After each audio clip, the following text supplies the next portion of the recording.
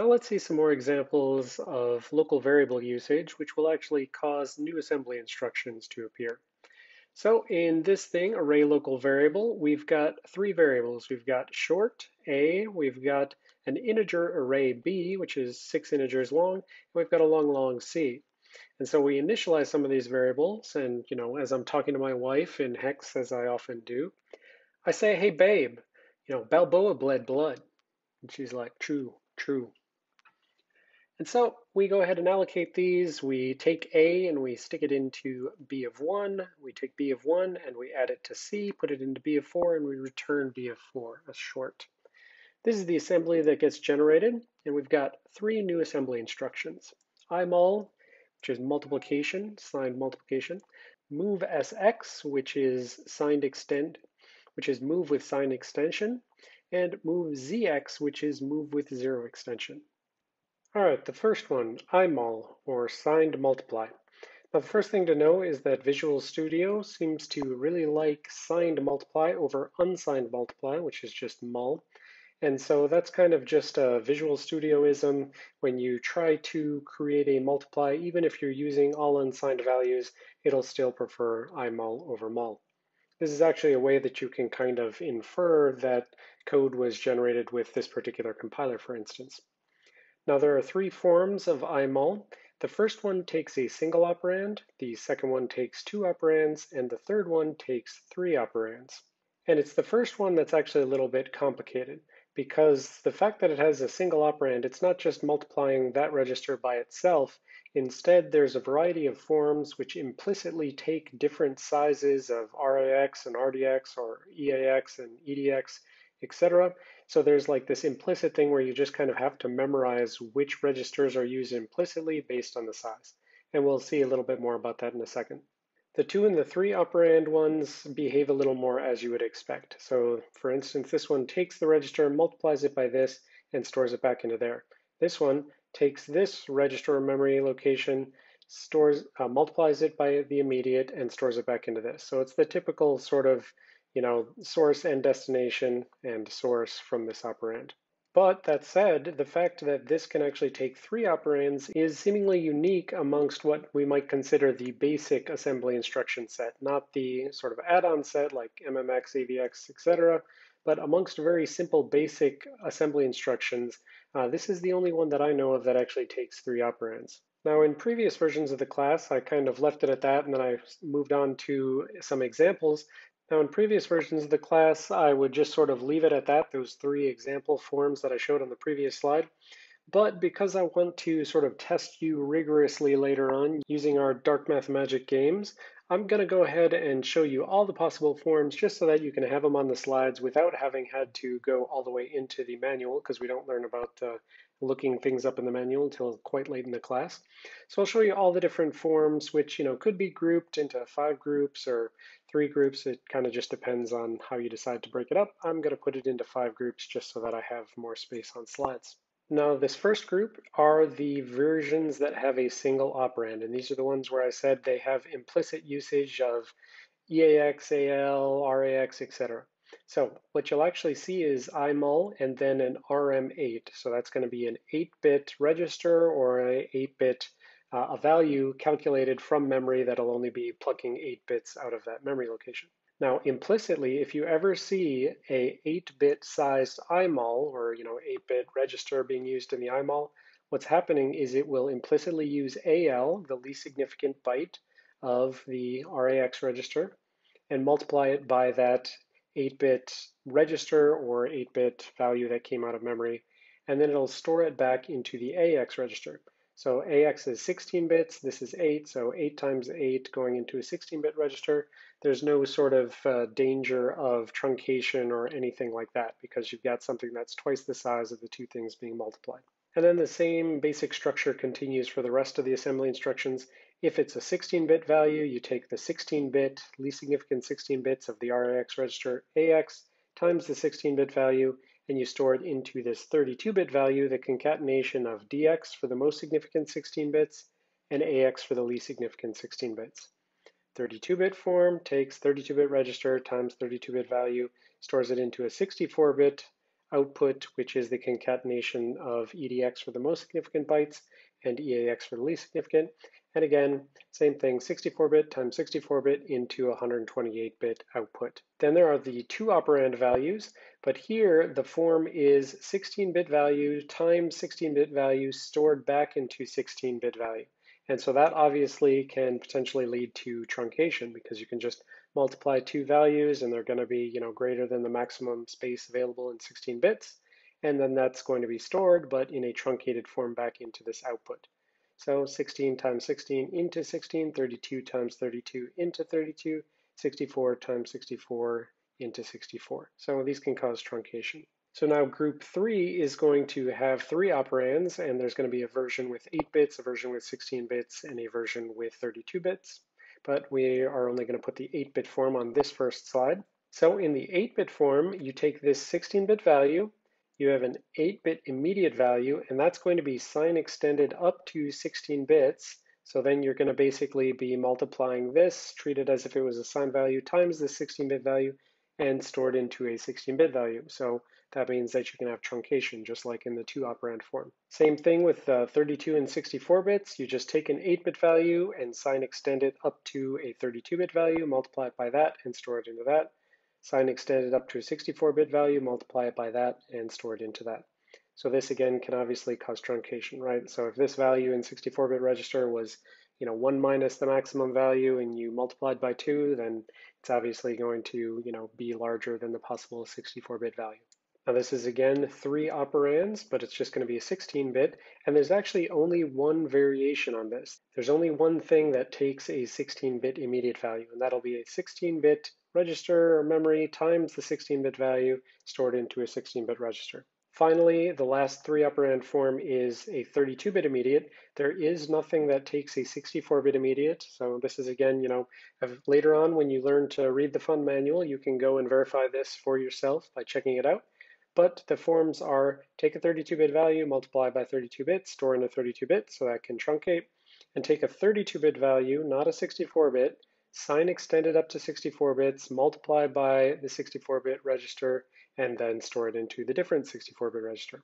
So this could be a register or memory rather, but this can only be a register. So those are all the possible forms that you could see for the multiply later on, so feel free to come back to this slide when you do the Dark Math Magic game later on. Now let's see some quick examples from each of those groups. So for instance, let's start with the single operand form. So again, IMUL with a RM8 implicitly, it's always going to take the RM8 times AL and store it into AX. So if these were our registers starting out, so RAX happens to be fully filled in, R12, it's 0000084. If you saw the assembly instruction IMUL R12B, that would mean you're using the byte size, the least significant byte of R12.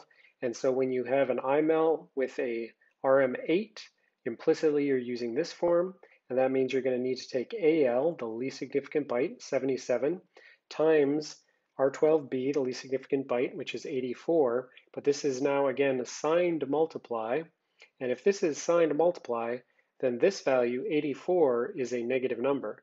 So we've actually got a negative value times a positive value, so negative times positive is going to be a negative value, and that will be stored into AX. So the end result here is that all the rest of this register is actually going to be left alone, and just the AX least significant 16 bits are going to be updated with this value. Now let me pop out into the calculator quick to show you how you could calculate this for yourself. So we said 77 is a positive value, but 84 is a negative value. So let's go ahead and take 84 and let's 2's complement that to get the negative value, or sorry, to flip the sign, because it is a negative value, so let's get the positive value. So 84 as a one byte value is actually 7c as a positive value. So negative 7c is 84 in one byte 2's complement form. So 7c is one of the values, and 77 is the other. So if I did 7c, which is now the positive form of this negative value, times 77, that would be giving me a value that's, you know, a positive value, but I said negative times positive should be a negative value at the end. So I need to 2's complement this again to flip it back to negative. and that's going to be, you know, AX is just going to be 16 bits, and so we just care about the C65C, and that's what we get here. Now later on in the class, we're going to learn about how to write inline assembly, but just again, because I wanted to kind of show this to you, because this is one of the elements that people had the most trouble with on some of the games, let's go ahead and look at that in inline assembly. So inside of your project, there is Scratchpad ASM, and there's the My ASM project. And so I just did a move of this value into RAX, move of 84 into R12, and then an IMUL by R12B. So if I go ahead and run that through the debugger, I can go ahead and bring up the registers window to show you on the top here. RAX has the value that I moved in from right here. R12 has the value 00084 that I moved in right here. And now I'm going to issue the IMUL R12B and if I just go ahead and step, then I can see that these least significant 16 bits of RAX just changed. All the rest is all the same, right? So 60, 99, 66, all that's all the same, but just these bits right here changed. And that's kind of why this is highlighted in red. It's telling you this register changed and other stuff didn't except, you know, RIP because you stepped forward and, you know, nothing else changed there. Flags changed. So that's just to show you that what I said in the calculator lines up with what actually happens in the assembly. So let's go ahead and stop that and I'll move on to what's going to be my next example here and back to the slides. Okay, so that was an example of a single operand form of IMUL. Again, signed multiply, so you have to take into account whether or not the things that are being multiplied are negative values like this or positive values. Okay, next example, this is a two operand form, and so if we see IMUL with an R32 and an RM32, then the actual mathematical operation is a signed version of that R32 times the RM32 stored back into the R32. So again, truncation is possible. So now in this case, if we have IMUL doing R12D, so the D word sized, the 32-bit sized version of R12, well, this is no longer interpreted as a negative value because it's not a one byte form, it's a four byte form, and the four byte form has 0, 0, 0, 0, 0, 0, so this is just going to be positive 84. Then RAX, taking the EAX size, the 32-bit value size, this is going to be A9, blah, blah, blah, blah, but that is going to be a negative value in 32-bit form. Something starting with A has the most significant bit set. You know, it's greater than 7, so it's going to be a negative value. So this is going to be a positive times a negative value. So again, a positive value times a negative value is going to lead to a negative value. So what's going to come out of this is 00061D0415C in R12 because it's storing, it's taking this times that, storing it back into that. So let's go ahead and look at that in the calculator to confirm this. So I'm going to take this value right here. This is my negative value to go ahead and put that in. I'm going to 2's complement it to get back to the positive value. I'm going to multiply that times 84, which is a positive value.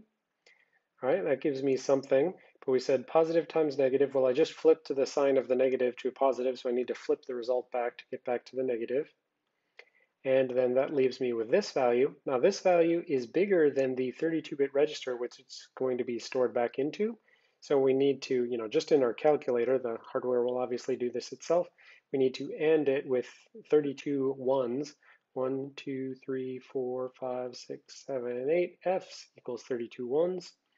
And that gives us 61 D0, 41, 5C, 61 D0, 41, 5C.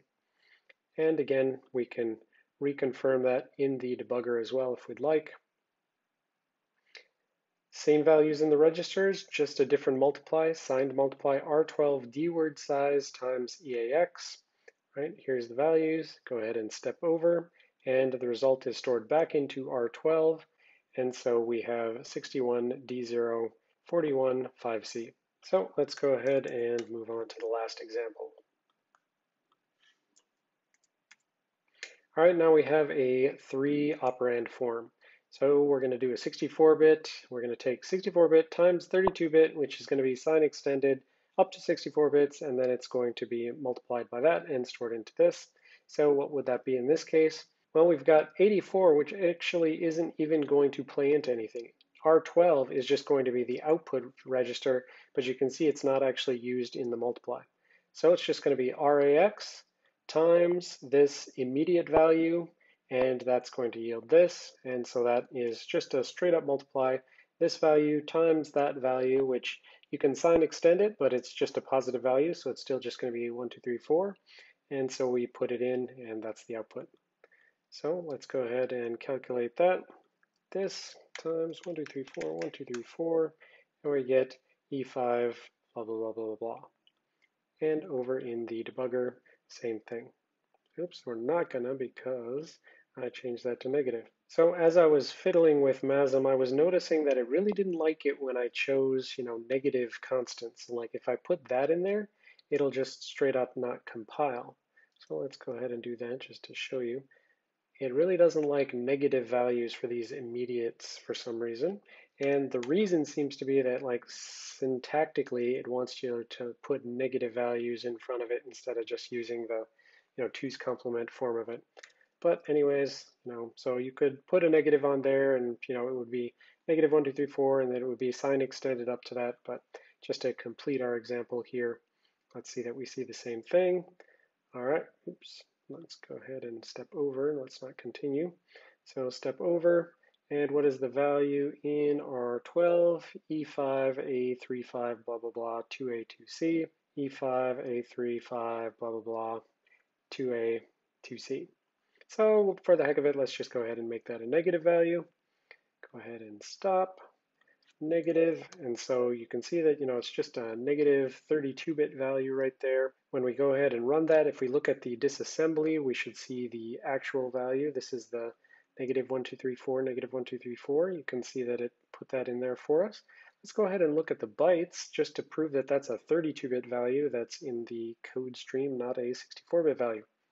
So if I look at the raw assembly bytes here, I can actually see that this value, this negative value, 1, 2, 3, 4, 5, 6, 7, 8, these eight bytes right here, ED, CB, ED, CC, these are actually built into this stream, ED, CB, ED, CC.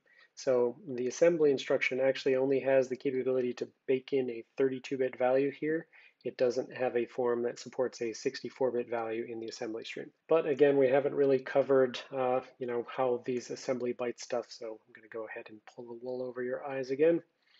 So anyways, if we did that and we stepped over it, we would just get some different value, right? Different multiplication, different value, but the key thing is that you saw it was, you know, sign extended up to a 64-bit value. All right, so that's my much longer treatment of the signed multiply assembly instruction hopefully should be a lot more useful to you later on when you're called upon to do the various versions of multiply in the Dark Math Magic game. Now the other two assembly instructions that we saw in this example code were move with zero extend and move with sign extend.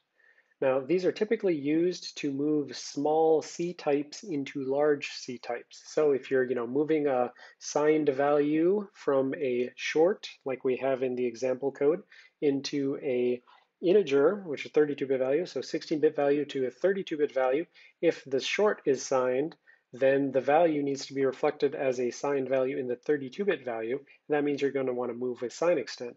On the other hand, if it was an unsigned short being moved into a 32-bit value, then you would move with zero extend, basically saying, you know, don't try to treat this as a signed thing. So these moves support all the same sort of register to register, register to memory, memory to register, immediate to memory, immediate to register forms that you see in a normal move.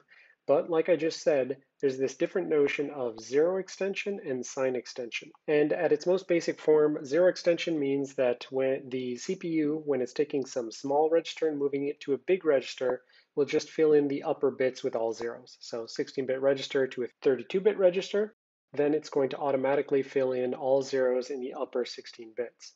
On the other hand, sign extension is a thing where the compiler has to generate the right assembly instruction so that things are treated as if they're signed. You know, if the high level language wanted them signed, the low level assembly language needs to treat them as if they're signed. And what that means is If you had a 16-bit register and you were moving it to a 32-bit register, if the value in that register in the high-level programming language was treated as a signed value, it needs to keep its sign, which means if it was positive, it should stay positive, and if it was negative, it should stay negative.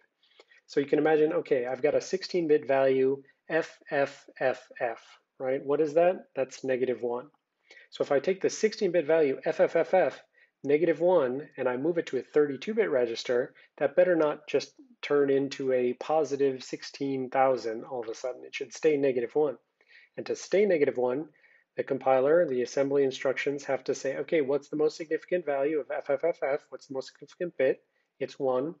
And so its sign extends that 1 into the upper bits of the larger 32-bit value, which means you get FFFFFF, you know, you get 8 Fs rather than 4 Fs, so that still it's treated as a negative 1 in subsequent assembly instructions.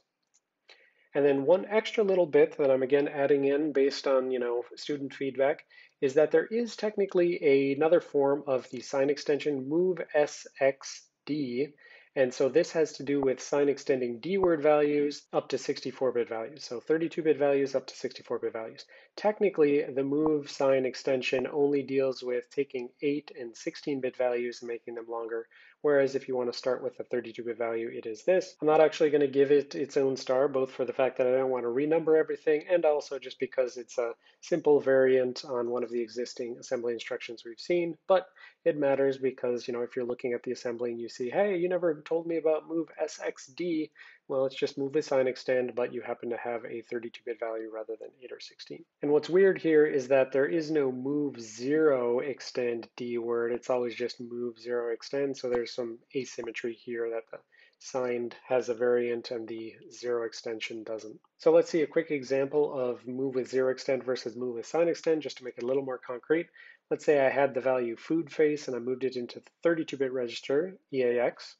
Then if I move with zero extend, EAX, 32-bit value, into RBX, 64-bit value, zero extend means just take the upper 32 bits and treat it as zero. On the other hand, this value EAX still has food face. If I run move sign extension D word, because EAX is 32-bit value food face, Move with sign extension means look at the most significant bit of this 32-bit value. If it's 1, put all the ones up here so that it's still treated as a negative value. Because if it's 1 here, it means it must have been a negative value, and you want it to stay negative. So fill in all ones up here so that the larger value is treated as negative as well. If I had something where it was, you know, move ood face, if this was a 0, even though I was using a sign extension, if this is 0, then it would just fill in zeros up here because the most significant bit would be 0 and it would just fill it in. All right, well, those are how the IMUL and move with sign extension and move with zero extension assembly instructions work.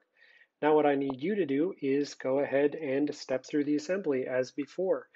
Uh, you know, show where the local variables are and, you know, try to get a sense of what's initialized and what's uninitialized.